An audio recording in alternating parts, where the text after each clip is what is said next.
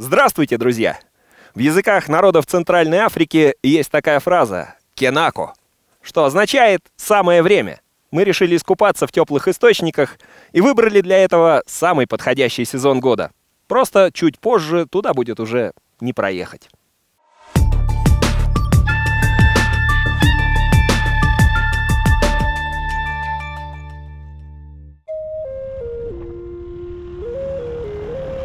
Куда стоит поехать, чтобы искупаться и позагорать на солнышке? Разумеется, на юг. Поэтому цель нашего очередного путешествия – Джумалинские геотермальные источники. Находятся они на южной окраине Республики Алтай, почти у самой границы с Монголией. Эта поездка не казалась нам какой-то очень уж сложной, Единственный нюанс – необходимость оформления пропусков в пограничную зону. Но эта процедура не отняла у нас много времени, и, получив документы, мы отправились в путь. Протяженность маршрута от селения Кош-Агач до источников составляет около 100 километров. Местные жители говорят, что полноприводные автомобили тратят на его прохождение около 4 часов – Поначалу дорога представляет собой плотную грунтовку, постепенно уводящую все выше и выше в Алтайские горы. Чисто теоретически, еще из школьного курса географии, нам было известно, что температура воздуха по мере набора высоты понижается с каждой тысячи метров примерно на 7 градусов. Но мы, жители равнин, крайне редко сталкиваемся с этим явлением на практике. И в очередной раз были крайне удивлены тому, что буквально едва успели стартовать, как приехали в самом прямом смысле из лета в зиму. Довольно быстро окружающая температура потеряла полтора десятка градусов, а высокая влажность и пронизывающий ледяной ветер только добавляли ощущение того, что мы перепутали направление и по ошибке попали в Арктику. А я видел людей, они нам показывали, не надо сюда ехать, все уже надо ехать обратно. Нормально, у нас же вездеходы. Кажется, что в таких условиях не может существовать ничего живого. Но в прикрытой от сильных ветров небольшой долине мы встретили мирно пасущееся стадо коров, среди которых было несколько сорлыков. Вот уж кому действительно нипочем зимняя стужа. Густая шерстяная юбка почти до земли, ну или во всяком случае до уровня снега, прекрасно защищает их от любой непогоды. Этих ближайших родственников тибетского яка называют сарлыками за характерный хрюкающий звук, который они издают, когда чем-то очень недовольны. Мы не стали экспериментировать и сочли, что вряд ли стоит нервировать рогатого зверя около тонны весом, только лишь для того, чтобы послушать, как он хрюкает – Интересно, что в силу особенностей организма они почти не умеют потеть, и температура выше плюс 15 градусов им кажется невыносимой жарой. Мы проехали примерно половину пути, как дорога стала заметно уже и вскоре превратилась в обледенелую колею, повторяющую естественные изгибы рельефа со скользкими подъемами и спусками. Местами встречались неглубокие бродики через речки и ручьи, не успевшие замерзнуть из-за сильного течения.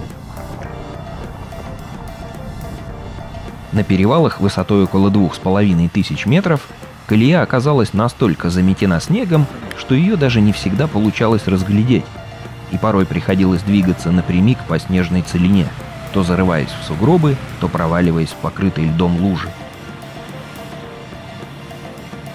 В этой снежно-ледовой каше нет-нет, да и попадались острые камни. Мы уже почти добрались до места назначения, как пришлось делать незапланированную остановку для ремонта колеса. Душа, а что случилось? Не знаю, где-то влетело в какой-то большой-большой камушек. Сейчас я попробую. А если вырыть-то его как? Починить его с помощью жгутов. Если не получится, то разберем диски у нас диски разборные. И ставим камеру. ставим камеру, поедем дальше. То есть все зависит от толщины прокола. Но его можно судить вот. Какой камень здесь сидит. Сейчас мы его попробуем извлечь. Я вообще не понимаю, как он туда попал. Как он туда попал. Но отверстие оно сделало. О, ничего себе. Прилично, прям острый. Как наконечник стрелы. И сейчас будем что-то делать. Пожалуй, самый важный инструмент для квадроциклиста – это набор для ремонта бескамерных шин. Шило, жгутики и клей. В любом путешествии и на асфальте, и на бездорожье он всегда должен быть под рукой.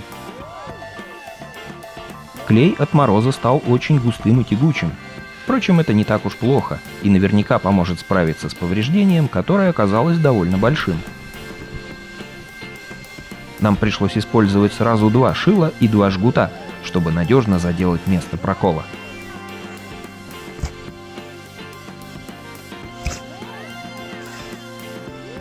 Ну что, в деревню доедем? Должны. Закончив с ремонтом, мы благополучно добрались до источников. Они расположились в уютном ущелье среди припорошенной снегом высокогорной тундры. На правом берегу Джумалы на небольшом пятачке из принесенных рекой россыпей гальки вытекает десяток ключей с минерализованной водой. Они не замерзают даже в зимнее время. Наиболее мощные струи заключены в трубы, наполняющие оборудованные для купания ванны и бассейны. Из-за высоких концентраций фтора, лития, вольфрама и молибдена эта вода не очень-то пригодна для питьевых целей. А вот купание в ней, как говорят, оказывает благотворное влияние на организм – помогает избавиться от многих проблем с желудком, суставами и с головой. Мы рассчитывали на то, что здесь золотая осень, белая зима. Это в корне меняет дело. О, ой, как хорошо. Ножкам тепло стало. Мы предупреждали вас. Ой, Оденьте ботинки. Пока мы добирались, солнце успело скрыться за горой и стал крепчать морозец. Но как бы ни казалось холодно и неуютно, отступать нам теперь уже некуда. Да и девушки смотрят. Поэтому сомнения прочь, будем нырять. А, а ступеньки-то обледенели. Давай уже быстрее. Виталь, да. братан, бегом.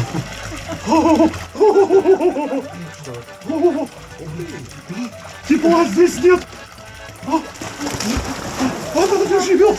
Если поверить самому себе, что ты расслабился, наверное, тепло. Ну, учитывая, что на улице минус 12, а мы сейчас находимся в воде, которая плюс 18, то даже где-то проскакивают нотки, что мне тепло. Ну, По составу вода здесь считается хлоридно-сульфатно-гидрокарбонатно-натриевой. Она содержит радон и множество микроэлементов – а по ощущениям, купание в джумалинских ключах вообще трудно с чем-либо сравнить. Это не похоже ни на горячие гейзеры, ни на обжигающую ледяную прорубь. Хотя температура воды здесь даже холоднее, чем в спортивном плавательном бассейне. Но в ней гораздо приятнее, чем на морозном ветру. А чтобы не мерзнуть, надо просто погрузиться в воду полностью и непрерывно двигаться, как это делают многочисленные рыбки, снующие у нас под ногами. Купание вызвало у нас мощный прилив бодрости и чувство, что мы можем хоть прямо сейчас ехать дальше сотни километров. Но солнце уже зашло, и самым правильным решением было остановиться на ночевку рядом с источниками. Мы поселились в домике, построенном местными жителями, регулярно приезжающими к джумалинским ключам для поправки здоровья. Условия похожи на спартанские, но главное тут есть печка – мы получили возможность просушить вещи и приготовить роскошный ужин. Для восполнения потраченных калорий нам требовалось усиленное питание.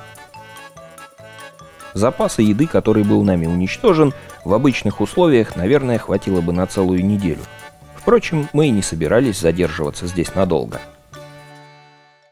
С рассветом мы собирались продолжить наше путешествие. Его целью было знаменитое плоскогорье Укок – путь к которому лежит через перевал Теплый Ключ, находящийся совсем рядом с источниками.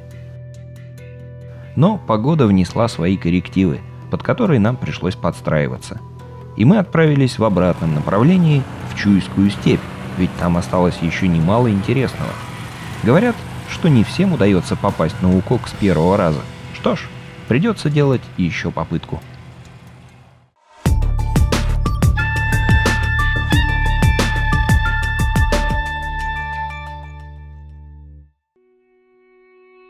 Наш маршрут проходит в 30 километрах от села Кошагач, у южной окраины Чуйской степи.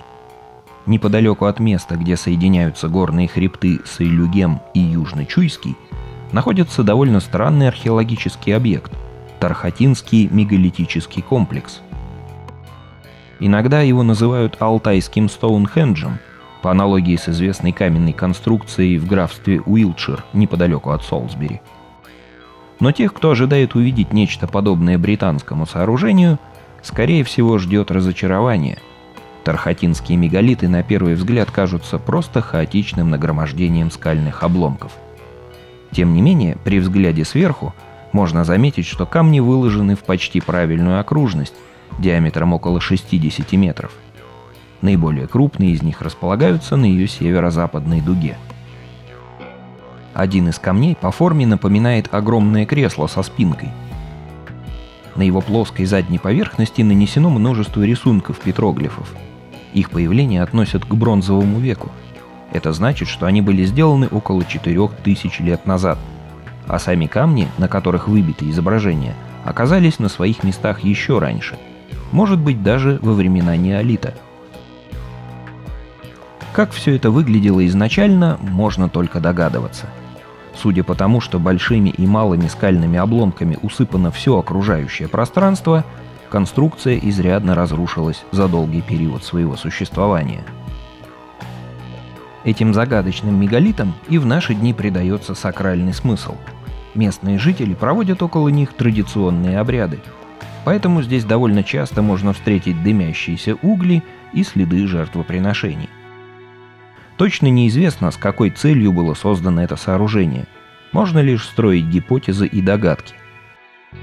Самый большой камень обладает весьма внушительными габаритами, больше 6 метров в высоту – Здесь, посреди степи, такому просто неоткуда взяться. Значит, тысячи лет назад люди располагали способами, позволявшими не только привести, но и расставить в нужном порядке многотонные глыбы. Как все-таки мало мы знаем о наших предках –